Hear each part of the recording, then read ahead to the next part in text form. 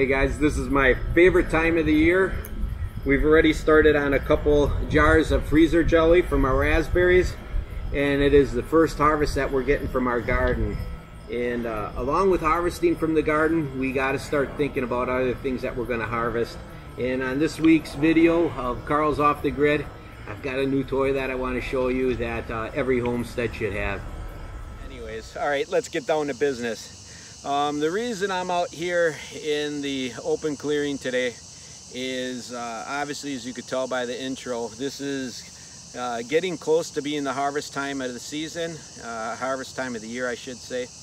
And uh, I've had some concerns. Over this past fall and summer I have contracted Lyme disease not once but twice. And so I have achy knees achy elbows achy shoulders. My joints just haven't come back all the way and I noticed that my strength hasn't come back either. And so uh, I started to wonder what am I going to do about harvesting my protein this year? I can't pull back my bow anymore. And uh, it really bugged me. As you may know uh, from following the channel for a while, I am a huge, huge uh, fan of archery hunting.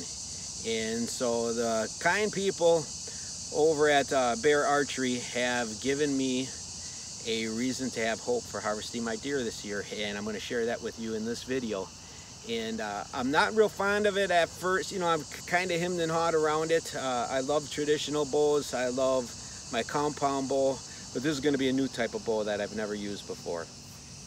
It is a crossbow and um, you can tell I've got it out and I kind of been playing with it a little bit trying to um, see what characteristics this bow has that uh, uh, things that might be uh, you know advantageous to share with you. And this bow here specifically shoots I believe when I was reading it's 400 feet per second. So it's boogieing pretty good. A couple of quick features I'm going to share with you on this bow um, things that were important to me being a first time crossbow shooter is if you look real close right here, that silver mechanism, that is an anti-dry fire mechanism. So if you do not have a bolt in the bowl, you cannot dry fire it and wreck your bowl. So that is huge. Secondly, uh, I have the caps off the off the scope right now because I'm going to be sighting it in today. But um, that is a, a a scope that lights up inside. It illuminates so during low sunlight you can still um, have a good view of your target. Um, when you first get a crossbow, it is very essential that you put a wax coating on here. This crossbow came with its own. It's a rail protectant um, so that your string doesn't get frayed as it slides up and down the rail. And you should put that protectant on for this particular bow. Uh, when I talked to uh, manufacturer, they said about every nine or 10 shots, you should go ahead and lube up this rail so that you don't wreck it. Uh, I'm gonna go ahead and cock the bow and uh, I'll show you how that works. It's very easy system. This particular one, um, I've already shortened this up to, to my length. It has um, two handles on it and then it's got this mechanism here that locks into the string.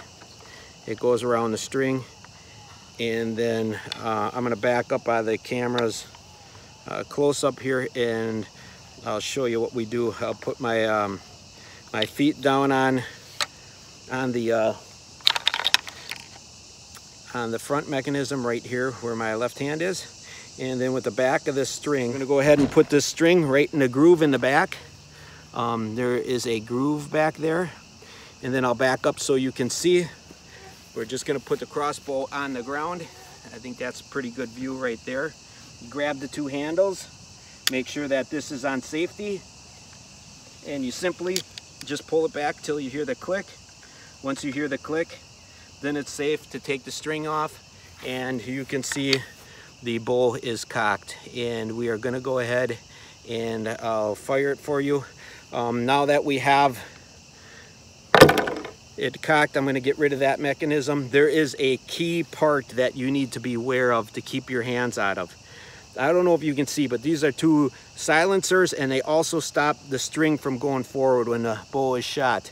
Let's draw a line across your imaginary line and you can see where the string is pulled back right through here. Never get your hand inside that triangle.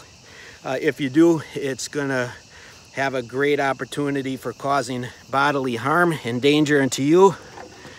And then uh, what you do is grab your bolt, the odd feather, in this case it's white, lays down, and you keep your hand forward of these two key parts right here that stop the string and slide the bolt back until it'll push back that silver um, anti-fire mechanism that's right up in, in this area and you seat it until it stops and now that it's stopped it is fully loaded and ready to shoot I do have the safety on right now we'll treat it like a gun from here out always point it in a safe direction know your target and beyond and then never put your finger inside the trigger guard which in this case is this big opening right here until you intend to fire it otherwise you could end up um, creating danger to yourself or others around you.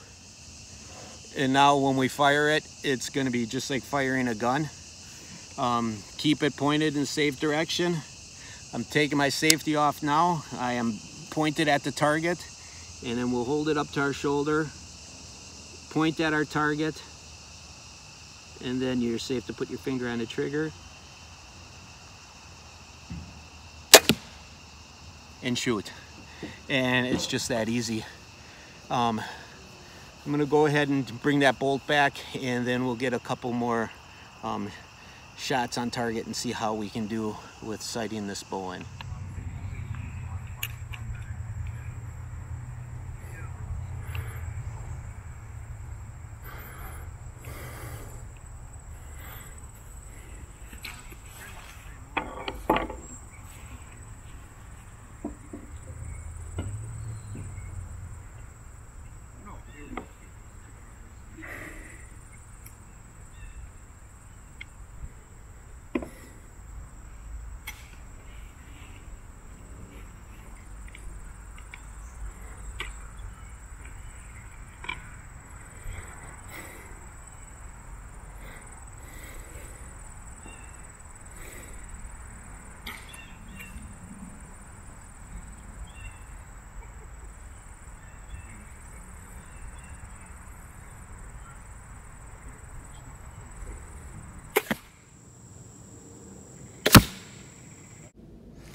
So this is actually my third shot right out of the box and you can see right where the arrow is in relation to the bullseye there.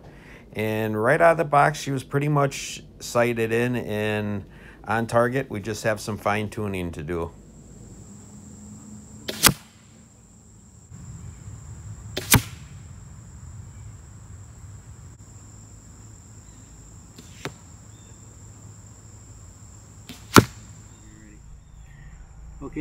So basically we went ahead and you can tell by the, the fletchings, we shot the living heck out of this thing. So, you know, my attitude towards crossbows, I guess, is starting to change a little bit. I guess they do have their place. Um, you know, with the Lyme disease, uh, I was really reluctant to switch over. I love having my traditional bows or my or my um, compound bow but you know as life has it I can't hunt that way anymore. So this is a great alternative um, uh, you know way to be able to hunt. And I will get a couple hunts in this year with archery as I do every year.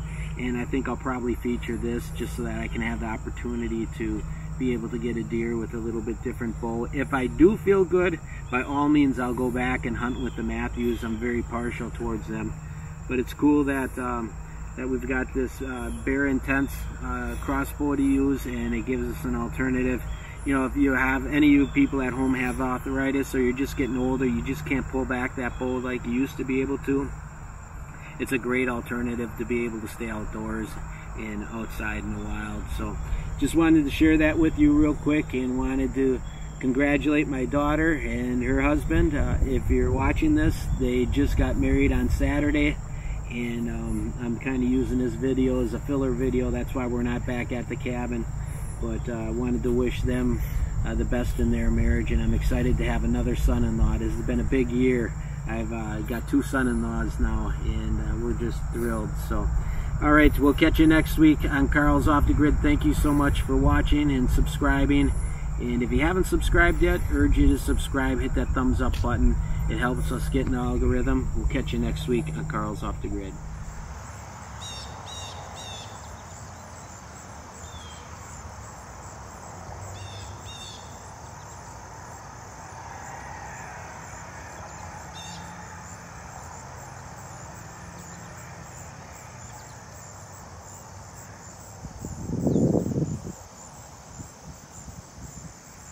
It's all right, Mama.